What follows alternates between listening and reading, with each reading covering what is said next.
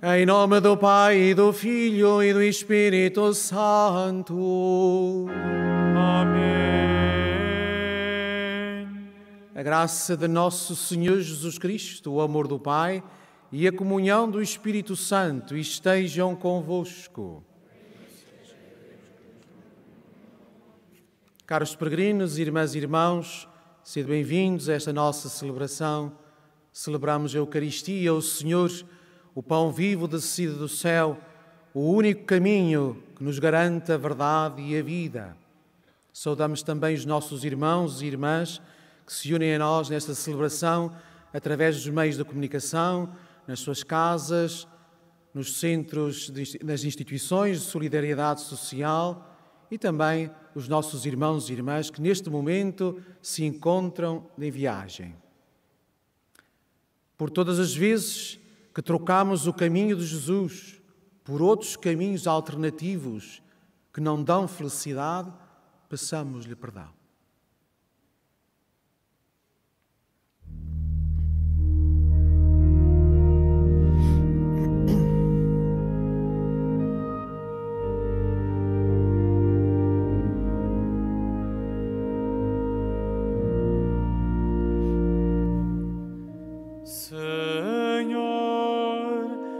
Pastor e Messias crucificado,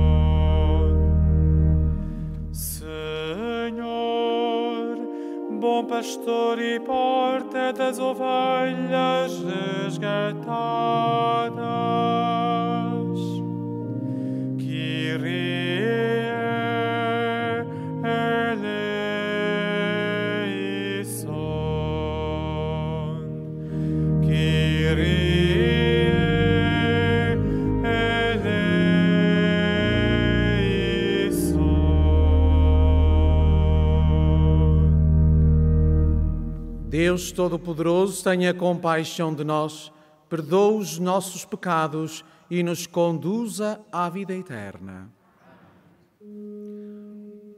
Oremos.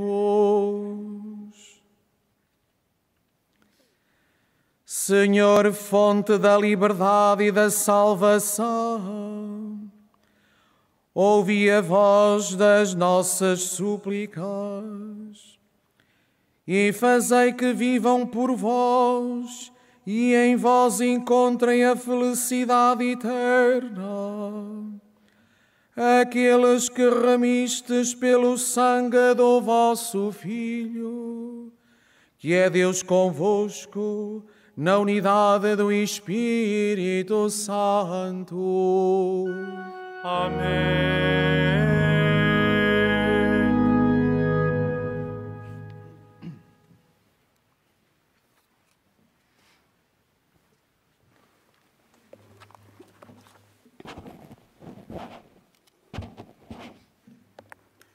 Leitura dos Atos dos Apóstolos.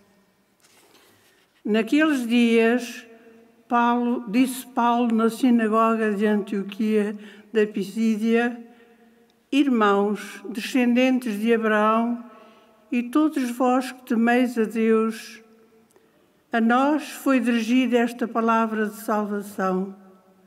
Na verdade, os habitantes de Jerusalém e os seus chefes não quiseram reconhecer Jesus, mas condenando-o, cumpriram as palavras dos profetas que se leem cada sábado. Embora não tivessem encontrado nada que merecesse a morte, pediram a Pilatos que o mandasse matar. Cumprindo tudo o que estava escrito acerca dele, desceram da cruz e depuseram-no no sepulcro. Mas Deus ressuscitou dos mortos e ele apareceu durante muitos dias àqueles que tinham subido com ele da Galileia a Jerusalém e são agora suas testemunhas diante do povo. Nós vos anunciamos a boa nova de que a promessa feita a nossos pais, Deus a cumpriu para nós, seus filhos, ressuscitando Jesus, como está escrito no Salmo 2. Tu és meu filho, eu hoje te gerei. Palavras do Senhor. Graças a Deus.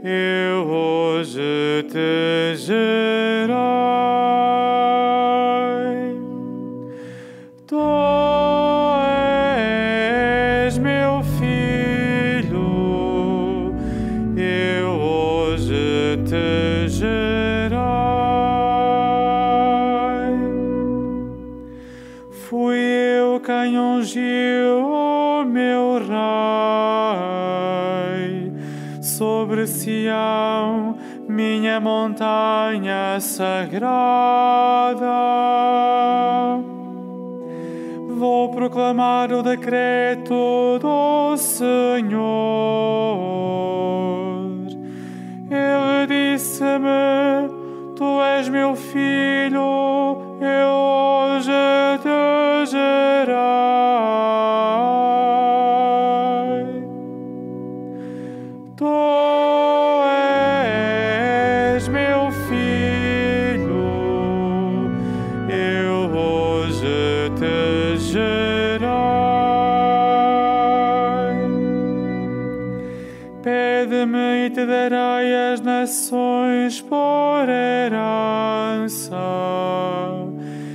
os confins da terra para teu domínio.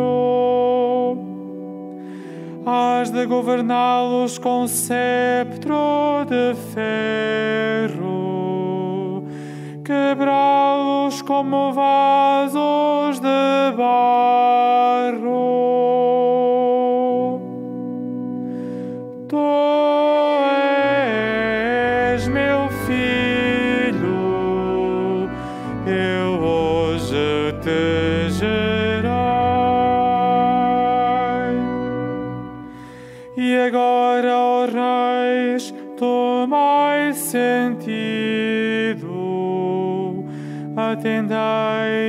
Vós que governais a terra. Servi o Senhor com temor, aclamai-o com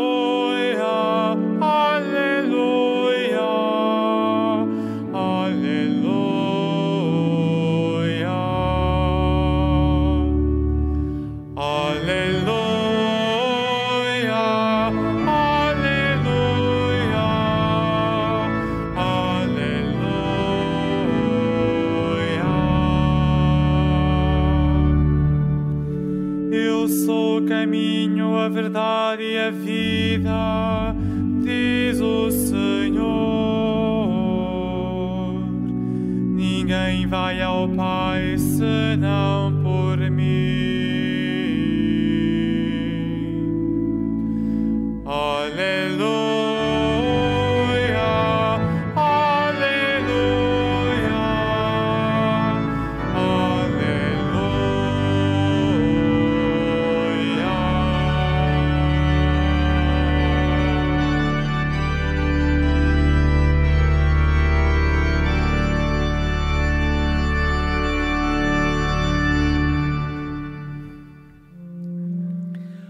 O Senhor esteja convosco. Ele está no meio de nós. Evangelho de Nosso Senhor Jesus Cristo, segundo São João.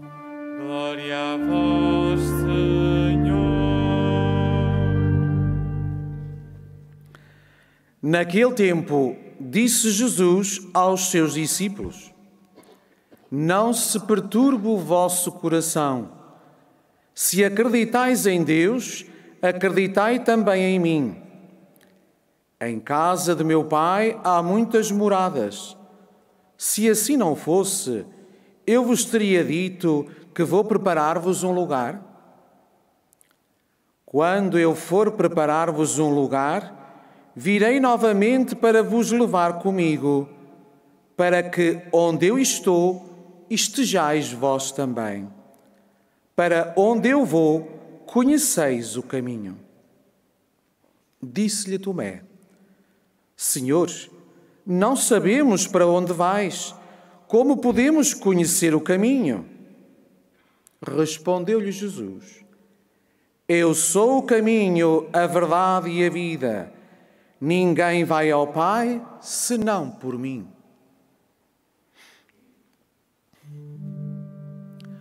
Palavra da salvação. Glória a vós, Senhor.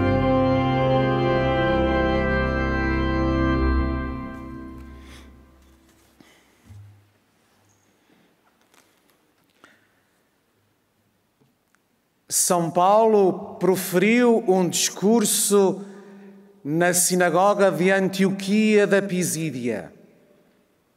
E a segunda parte deste discurso ouvimos-la na primeira leitura de hoje, onde Paulo é muito claro e é muito direto. E diz ele que esse Jesus, que Deus o enviou como o Messias esperado,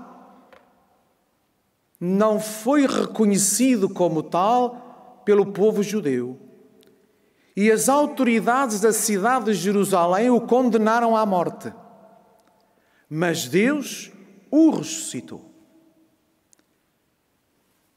Paulo tem o atrevimento de acrescentar o seguinte: a promessa feita aos nossos pais, Deus a cumpriu para nós, seus filhos, ressuscitando Jesus. E coloca nos lábios de Deus, referindo-se a Jesus Cristo, a frase do Salmo 2: Tu és meu filho, eu hoje te gerei. Por isso nós a cantamos como refrão ao Salmo responsorial. Irmãs e irmãos, quando São Paulo pregava e quando proferia os seus discursos, tinha a grande preocupação de que os seus ouvintes entendessem a sua mensagem, captassem o conteúdo da sua mensagem. Quando ele falava para os pagãos, ele utilizava um estilo de linguagem de tal forma que eles entendessem o que ele estava a dizer. E quando ele falava para o povo judeu, ele tudo fundamentava na Sagrada Escritura e na história do povo de Israel. E eles entendiam muito bem o que ele queria dizer. E o que é que Paulo pregava? Não se pregava a si próprio. Não pregava o seu temperamento. Não pregava as suas sensibilidades. Não pregava as suas ideias pregava aquilo que deve ser pregado. O quê? Jesus é o Messias Senhor, o Filho de Deus, o Salvador. Nada mais. Irmãs e irmãos, no decorrer da história e hoje, com a preocupação de nos adaptarmos aos tempos atuais e aos estilos de linguagem, o que é que nós, que somos discípulos de Jesus Cristo, devemos pregar? O mesmo que Paulo. Também dizer hoje que Jesus é o Messias, Senhor. Que Jesus é o Salvador. Não nos pregarmos-nos. Não pregarmos as nossas ideologias passageiras ou as nossas sensibilidades mas aquilo que é fundamental e essencial, Jesus Cristo, que é a plenitude de tudo e de todos, que é o que dá sentido à vida de todos, que é o único caminho. E nestes tempos conturbados, e em alguns momentos aterradores em que vivemos, não só no nosso país, mas no mundo inteiro, com a pandemia, e que vemos a resposta que Deus dá hoje a esta situação é Jesus. Este Jesus, que pouco a pouco se vai revelando, vai revelando a sua identidade e para isso vai utilizando imagens para que as pessoas também captem bem a sua mensagem e a sua identidade. O texto do Evangelho durante esta semana, Jesus tem-nos dado tantas imagens para explicar e revelar a sua identidade. E neste discurso da última ceia, em que se nota que a despedida está iminente, há aqui a preocupação de Jesus de saber o que é que vai acontecer aos seus discípulos depois da sua morte, depois da Páscoa. E também eles interiormente sentiam isto. E Jesus, em primeiro lugar, apela a todos à serenidade e à paz. Diz: não se perturbe o vosso coração. Se acreditais em Deus, acreditai também em mim. Era necessário que eu vá, em primeiro lugar, que vá à vossa frente para vos preparar as moradas que existem meu, junto do meu Pai, em casa do meu Pai. Porque onde eu estou, vó, quero que vós estejais também. Irmãs e irmãos, se nós queremos uma frase curta que resuma o que é a nossa felicidade, é esta. Que nós hoje ouvimos no Evangelho de São João, da boca de Jesus. Onde eu estou, estejais vós também. E Tomé diz: Senhor, mas nós não sabemos por onde é que tu vais. Como é que nós podemos saber o caminho? E Jesus utiliza mais uma imagem para dizer quem é. Já tinha dito que era a água viva, já tinha dito que era o pão vivo descido do céu, que era a porta, que era o bom pastor, e ontem dizia-nos que era a luz do mundo. E hoje, respondendo a Tomé e a nós, diz-nos: Eu sou o caminho, a verdade e a vida. Ninguém vai ao Pai senão por mim. Jesus não é um caminho. Jesus é o caminho. Não há outro. Nós podemos até argumentar o seguinte: mas eu já sei isso. Mas eu estou em melhores condições para aceitar esta frase que os discípulos da altura. Porquê? Porque eu já estou no caminho do Senhor. Eu até já fui batizado. Eu até professo a fé em Jesus Salvador Messias, Filho de Deus. Sim. Mas hoje, ao ouvir este texto do Evangelho, cada um de nós é convidado a refletir no seguinte: mas será que eu percorro fielmente o caminho do Senhor, o caminho de Jesus Cristo? Porque todos nós temos liberdade. E todos, a todos nós nos apetece, de vez em quando, percorrermos outros caminhos que, são, que nos mostram são mais atrativos a curto prazo, muito mais agradáveis, muito mais fáceis. Ora, meus irmãos, podemos até andar por aí. Temos a liberdade para o fazer. Mas uma coisa nos é garantida: nesses outros caminhos, mais fáceis, mais atrativos, são caminhos mas nunca iremos encontrar a verdade e a vida. Os caminhos obscuros, os caminhos alternativos, os caminhos das promessas fáceis, os caminhos em que tudo nos prometem e que tudo nos garantem, levam sempre à promiscuidade, à libertinagem, às trevas, ao sufoco, à traição, ao desprezo, ao abandono. Há outros caminhos, mas só um leva e nos dá a verdade e a vida: Jesus Cristo. É evidente, não é o caminho mais fácil. Talvez seja o caminho mais difícil e mais exigente.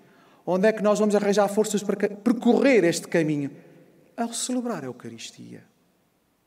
É aqui que nós, ao celebrar a Eucaristia, que nós recuperamos as nossas forças, ouvindo a palavra divina, ouvindo a palavra do Senhor que nos conforta e que nos anima e que a todos nos quer bem, alimentando-nos do seu corpo e do seu sangue. Jesus é o caminho e Ele quer, para a nossa felicidade, que onde, nós, onde Ele estiver, nós estejamos também. Nunca esqueçamos aquilo que o Senhor nos disse: Ninguém vai ao Pai senão por mim.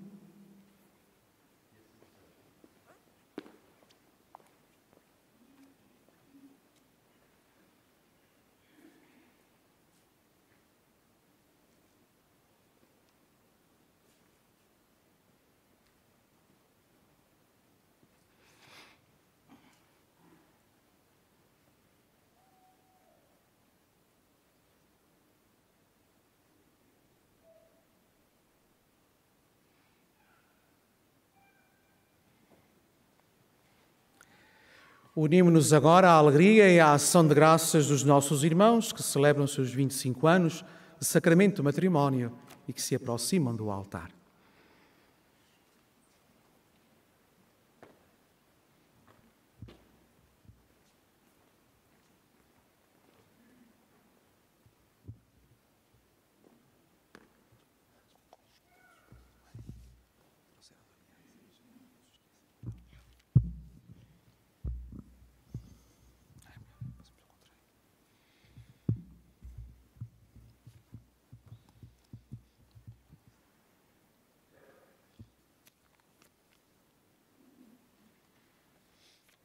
Ocorrendo o aniversário da celebração do sacramento matrimónio, em que unistes as vossas vidas com um vínculo indissolúvel, desejais agora renovar diante do Senhor os compromissos que então assumistes, a fim de que estes compromissos sejam confirmados com a graça divina, orai ao Senhor no íntimo do vosso coração.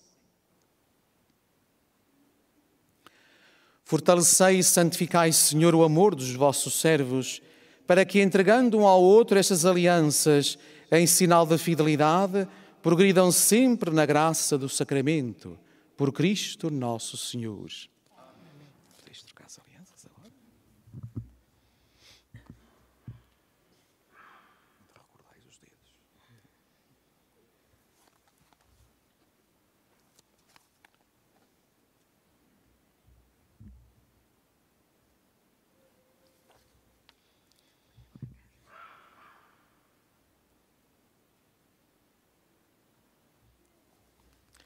O Senhor vos guarda em todos os dias da vossa vida.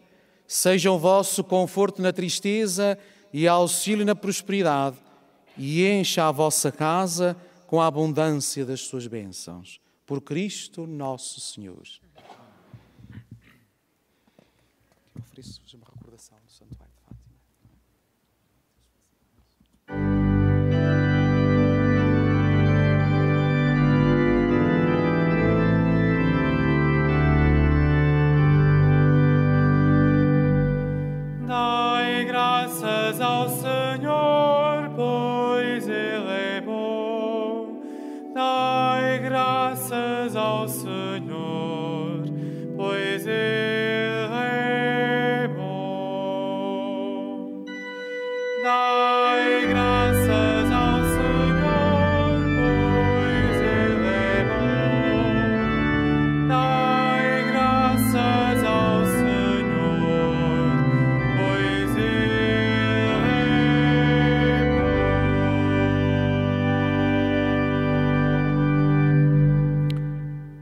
E irmãos, o que Jesus disse aos discípulos o seu tempo, dilo aos de hoje, a cada um e à igreja inteira: não se perturbe o vosso coração. Escutemos a sua voz e supliquemos, dizendo: Ouvi, Senhor Jesus, as nossas preces.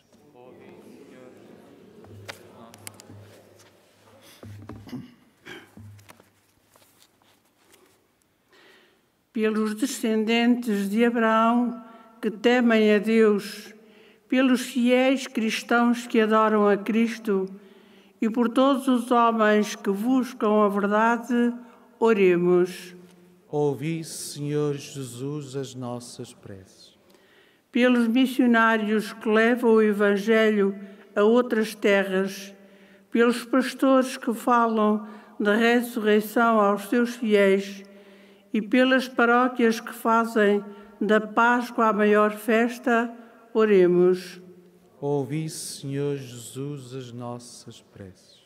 Pelos cristãos que amam a Cristo, que por nós morreu, pelos que creem que em casa do Pai há muitas moradas, e pelos que sabem que Jesus foi preparar-nos um lugar, oremos. Senhor e Senhor Jesus, as nossas preces. Pelos doentes que pedem a Jesus que lhes dê força, pelos que sentem a alegria de Cristo estar conosco e pelos que sabem que Ele é o caminho que leva ao Pai, oremos. Ouvi, Senhor Jesus, as nossas preces. pelos paroquianos que comungam o corpo de Cristo, pelos que servem o Senhor Jesus nos mais humildes e pelos que o aclamam cantando salmos de alegria, oremos. Ouvi, Senhor Jesus, as nossas preces. Para que o Senhor ponha fim à pandemia que nos atinge e por todos os nossos irmãos que no nosso país e pelo mundo fora sofrem as suas consequências, pelos doentes e os que deles cuidam, e pelas famílias em dificuldades, para que a Mãe do Senhor os ajude e conforte, como fez com os santos pastorinhos. Oremos. Ouvi, Senhor Jesus, as nossas preces. Senhor Jesus Cristo, caminho, verdade e vida dos que vos procuram, mostrai-nos o Pai, e isso nos basta. Vós que viveis e reinais pelos séculos dos séculos.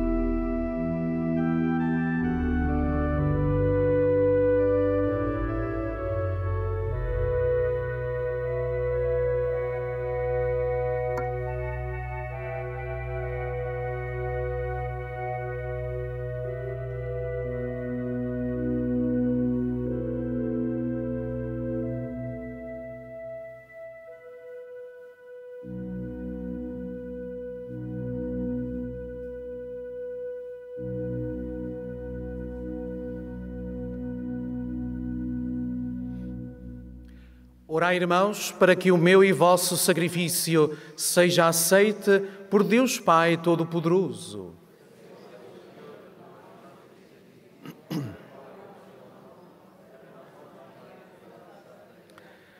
Acolhei benignamente, Senhor, os dons da vossa família e concedei-lhe o auxílio da vossa proteção, para que não perca as graças recebidas e alcance os bens eternos por nosso Senhor Jesus Cristo, vosso Filho, que é Deus convosco, na unidade do Espírito Santo. O Senhor esteja convosco. Ele está no meio de nós. Orações ao alto. O nosso coração está em Deus. Demos graças ao Senhor nosso Deus. É nosso dever, é nossa salvação. Senhor Pai Santo, Deus eterno e omnipotente, é verdadeiramente nosso dever, é nossa salvação, que sempre vos louvemos, mas com maior solenidade neste tempo em que Cristo, nossa Páscoa, foi imolado. Porque vencendo a antiga corrupção do pecado, renovou a vida do universo com uma nova criação e restaurou o género humano na sua integridade original. Por isso, na plenitude da alegria pascal, exultam os homens por toda a terra, e com os anjos e os santos proclamam a vossa glória, cantando numa só voz.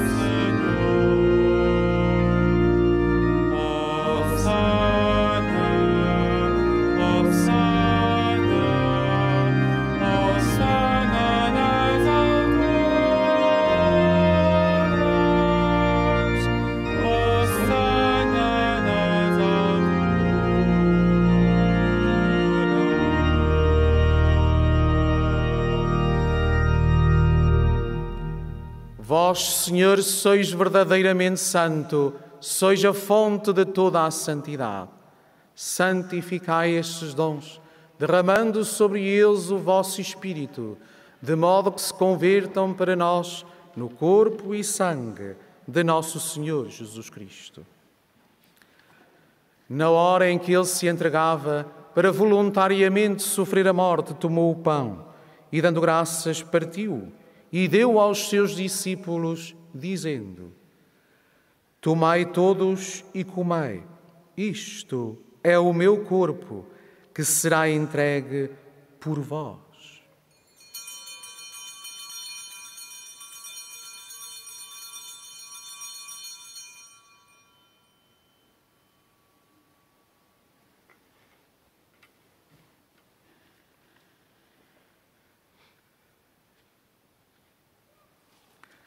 De igual modo, no fim da ceia, tomou o cálice e, dando graças, deu aos seus discípulos, dizendo: Tomai todos e bebei, este é o cálice do meu sangue, o sangue da nova e eterna aliança, que será derramado por vós e por todos, para a remissão dos pecados. Fazei isto em memória de mim.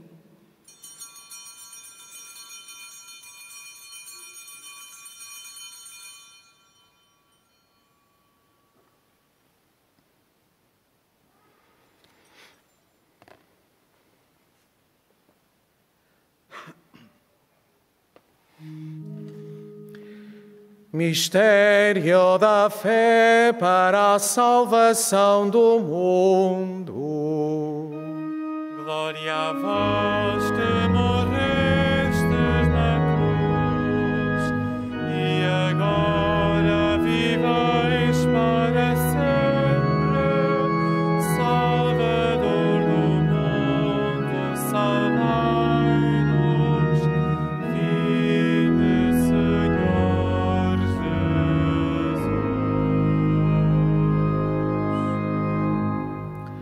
Celebrando agora, Senhor, o memorial da morte e ressurreição do vosso Filho, nós vos oferecemos o pão da vida e o cálice da salvação e vos damos graças porque nos admitistes à vossa presença para vos servir nestes santos mistérios.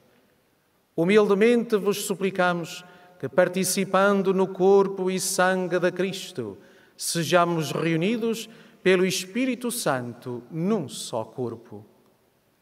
Lembrai-vos, Senhor, da vossa Igreja dispersa por toda a terra e tornai-a perfeita na caridade, em comunhão com o Papa Francisco, o nosso Bispo António e todos aqueles que estão ao serviço do vosso povo. Lembrai-vos também dos nossos irmãos que adormeceram na esperança da ressurreição, e de todos aqueles que, na vossa misericórdia, partiram deste mundo.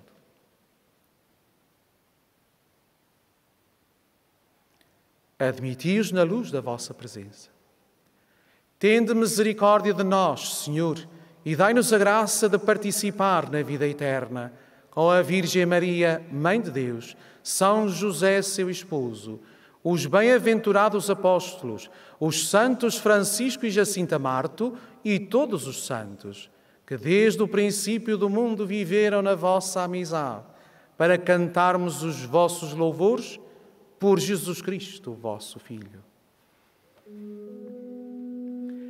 Por Cristo, com Cristo e em Cristo, a vós, Deus Pai Todo-Poderoso, na unidade do Espírito Santo, toda a honra e toda a glória, agora e para sempre.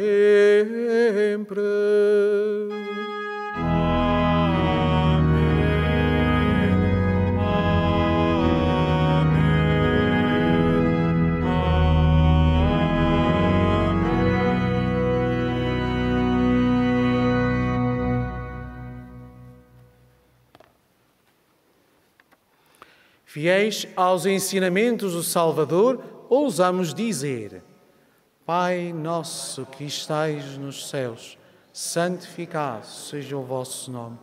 Venha a nós o vosso reino. Seja feita a vossa vontade, assim na terra como no céu. O pão nosso de cada dia nos dai hoje. Perdoai-nos as nossas ofensas, assim como nós perdoamos a quem nos tem ofendido, e não nos deixeis cair em tentação, mas livrai-nos do mal. Livrai-nos de todo o mal, Senhor, e dai ao mundo a paz em nossos dias, para que, ajudados pela vossa misericórdia, sejamos sempre livres do pecado e de toda a perturbação, enquanto esperamos a vinda gloriosa de Jesus Cristo, nosso Salvador.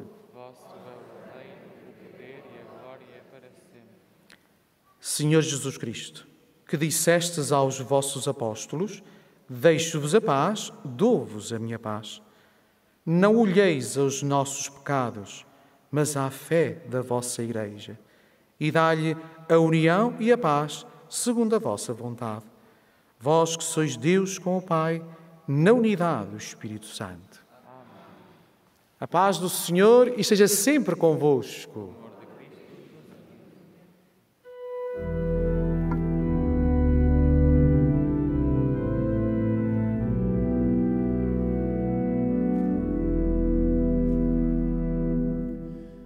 Cordeiro de Deus, que tirais o pecado do mundo,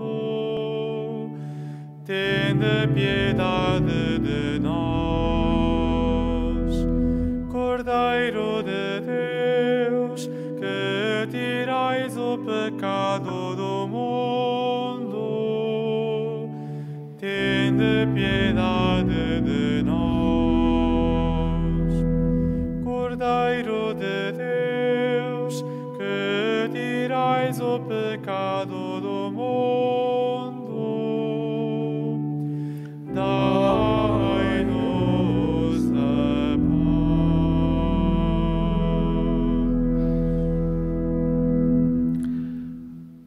Os convidados para a ceia do Senhor.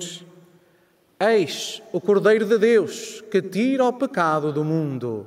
Senhor, eu não sou digno, entreis em minha morada, mas dizei uma palavra e serei salvo. O corpo de Cristo.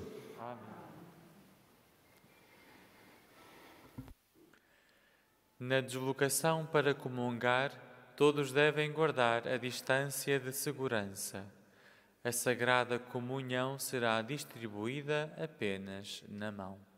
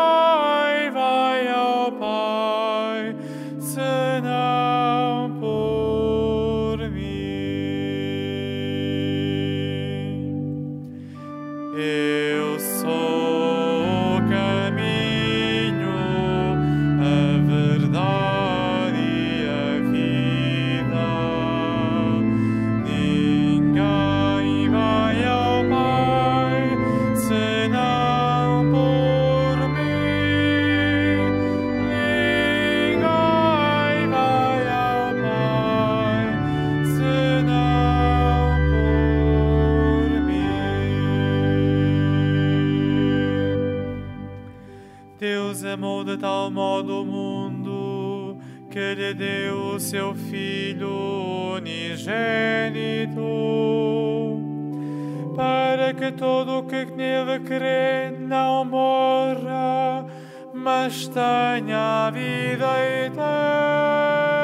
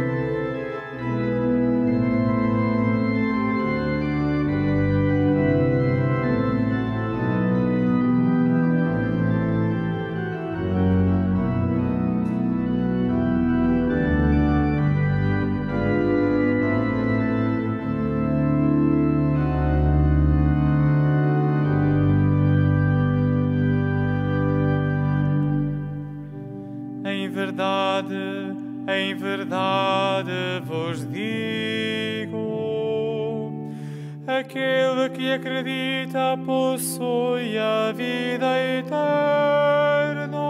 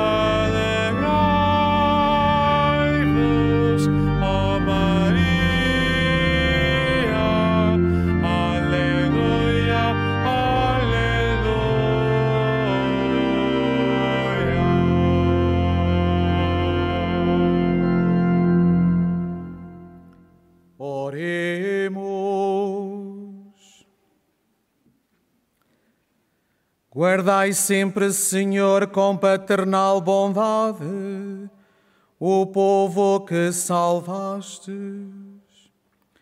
para que se alegrem com a ressurreição do vosso Filho, aqueles que foram redimidos pela sua paixão. Por nosso Senhor Jesus Cristo, vosso Filho, que é Deus convosco, na unidade do Espírito Santo. Amém. Faça agora a bênção dos objetos religiosos que tendes convosco.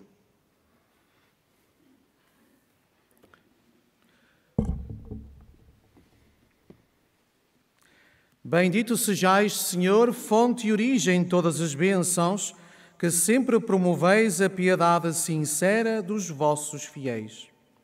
Por intercessão da bem-aventurada Virgem Maria e dos santos Francisco e Jacinta Marto, assisti benignamente os vossos servos e fazei que, levando consigo estes símbolos de fé e piedade, sobre os quais invocamos a vossa bênção, se vão transformando à imagem do vosso Filho.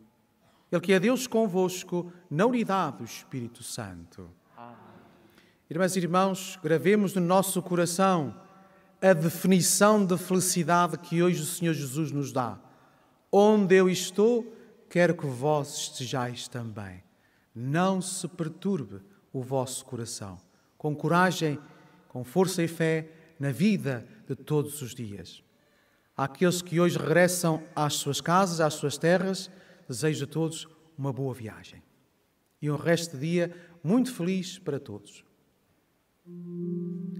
O Senhor esteja convosco. Ele está no meio de nós. Abençoe-vos Deus Todo-Poderoso, Pai, Filho e Espírito Santo. Amém.